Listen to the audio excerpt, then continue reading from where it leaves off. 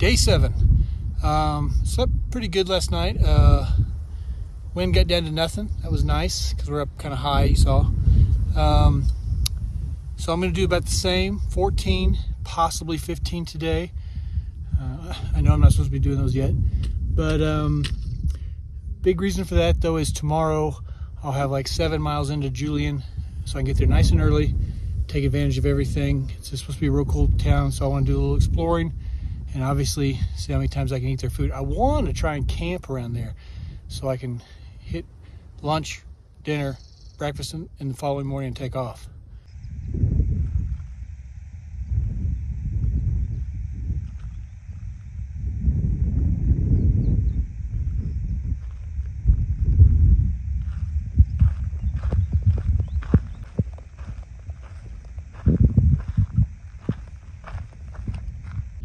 Ooh, had a little climb. Um, I know I'm kind of getting a lot of video of the same thing. It's nice, and there's more epic stuff coming. But uh, hey, there's a road over there. A road. Yeah, more epic stuff coming, obviously, Sierras and whatnot. But I'm having fun. I met a couple of British folks. Uh, I camped with a, a guy from Kent, uh, you know, close to, it's kind of close to London. So a lot more international people on the PCT than there was the AT. Um, very few on the AT. I don't know what that really means. I will try and figure out that psychology. One piece of psychology, it doesn't matter where you're from, how old you are, color your skin is. If you're doing this, you're crazy. Crazy person. You know, crazy like an adventurous, fun, you know, smiley kind of way. Not a need meds or you'll stab everybody kind of way. That you get it.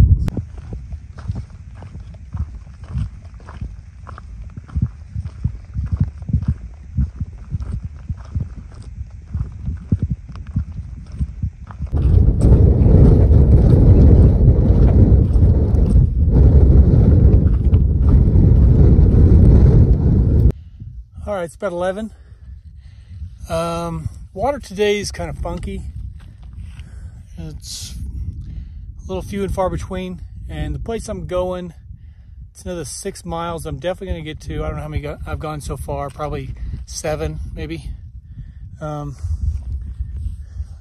yeah, probably seven, right around there. Anyway, um, but that place, it's a tank, and it's like almost a mile off trail. Uh, which obviously that's a mile back or almost a mile back. I'm gonna have to do that. Uh, uh, I, am pretty sure. But I've been kind of wobbly on water. I just walked by. It's 11. It's not time for lunch, but there's this little water source. It's kind of running down here a little bit. I think I'm gonna go ahead and have lunch. I can get underneath the wind, put the umbrella out, get a shady spot. It's working out. All right, so I figured out there's actually another water tank half a mile from here. So I'm gonna go up to that, and that's supposed to be pretty good and right on trail. I think I'm gonna sit there and camel up, and then um, I'm gonna hike past that other one, the other water tank that was like a mile off trail. I'm just gonna go blow past that, and I'm gonna get to my campsite. I'm just gonna be a little, little hard loaded water wise. I'm just drink, drink a lot of this thing and then hard load to there and get to my campsite, which will be dry, but I'll have plenty of water. And then tomorrow it'll be a seven mile quick shot into, uh, well, at least to the road that I can get a hitch into uh, Julian.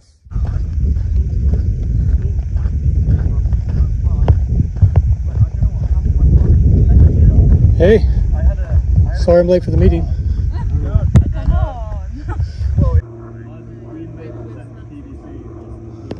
Lunch number two. Here's what the pipe water looks like. There we go.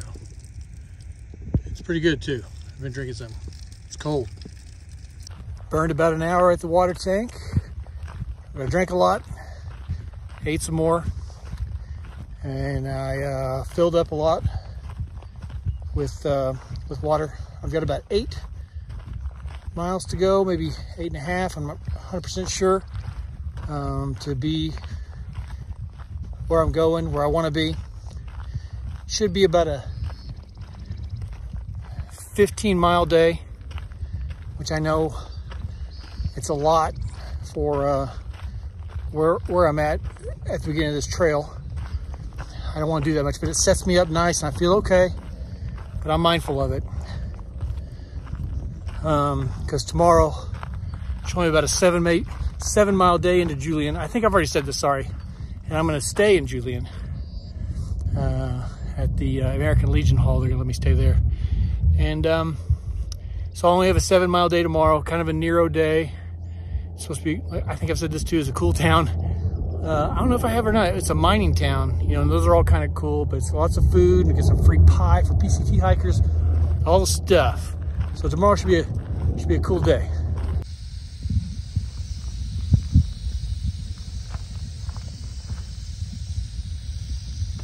Yeah, the first rattlesnake. Can you hear him? He's in that bush right there. Right there by the trail, so I don't know what I'm doing.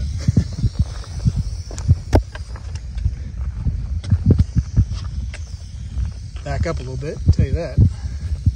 So if you're new to the channel, here's a piece of information is I'm not afraid of much.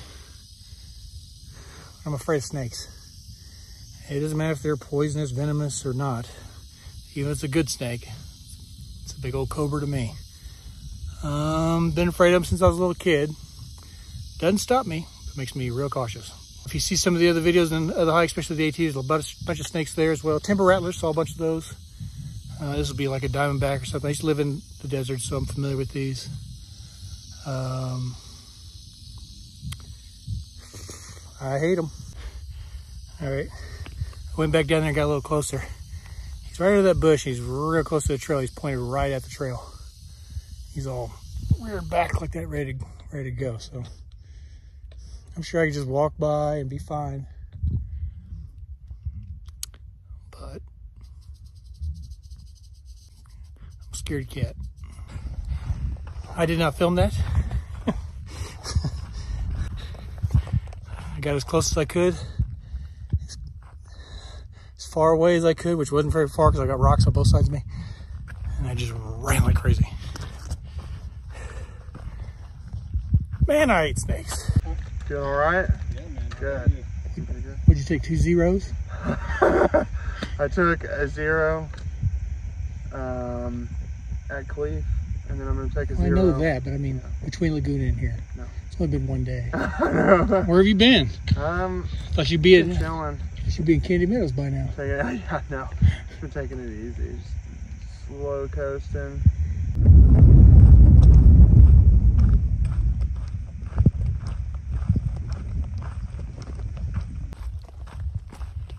I'm getting tired. It's like three something. And I still, I don't know, have like four or five miles to go. 12 and a half miles in, it's 3.30. I'm tired. I saw a real sweet camp spot about a half mile back. I should stay. I should have stayed at it. Probably, I don't know. Okay, I'm back on it. Uh, yeah, 12 and a half. Just go to another three miles. I don't know. Just committed to having a seven mile day in tomorrow. I think the next, if I find another one, good place, I'll just stop.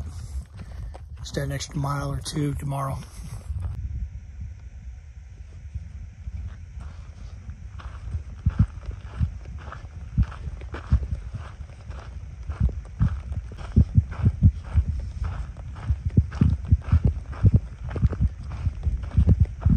still a mile away from when the tent start tent sites start. I could go have to go as far as two and a half miles. I'm so done. Um, probably about 14 miles. Today's been a tougher day though. Definitely hotter. um, Should have stopped at those campsites back there at 12.4. All right, this is it. There's one spot. I don't have anybody with me, so these one spotters, nice to see. just gonna take a break and just drink water. All right, so I'm just hanging out. I'm gonna wait 30, 45 minutes before I uh, um, put up my tent and stuff. I made a, a drink with electrolytes in it. And I've been drinking all day, but I'm just gonna really pound the electrolytes. So today was right at 15 miles. Three more than I should have done. I should have stopped at that 12.4.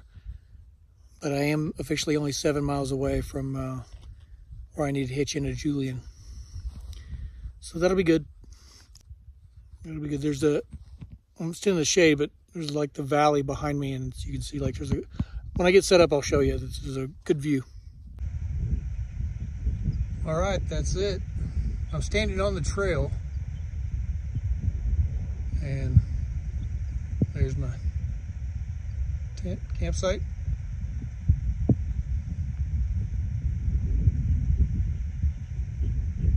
See you in the morning. All right, this is the real send off. Today was just, I don't know, it was only nine tenths of a mile more, but the last three miles, I just barely could make it. So, summary of that is if uh, Julian's pretty awesome tomorrow, I might just move there.